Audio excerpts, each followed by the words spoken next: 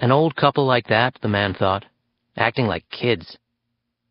Didn't have a clue how crazy they looked. Peering over the boxwood hedge he was trimming, the gardener was looking at Cy and Donald Benson on the wide back deck of their house, sitting in a rocking love seat and drinking champagne. Which they'd had plenty of, that was for sure. Giggling, laughing, loud. Like kids, he thought contemptuously. But enviously, too, a little. Not at their wealth, Oh, he didn't resent that. He made a good living tending the grounds of the Bensons' neighbors, who were just as rich. No, the envy was simply that even at this age they looked like they were way in love and happy. The gardener tried to remember when he'd laughed like that with his wife. Must have been ten years. And holding hands like the Bensons were doing?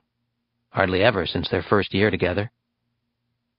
The electric hedge trimmer beckoned, but the man lit a cigarette and continued to watch them.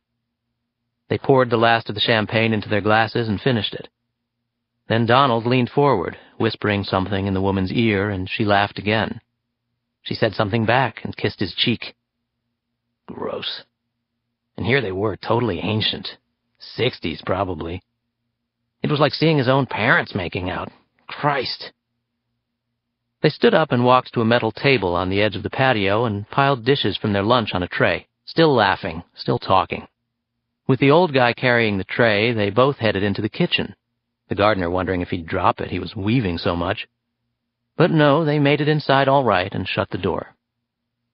The man flicked the butt into the grass and turned back to examine the boxwood hedge. A bird trilled nearby, a pretty whistle.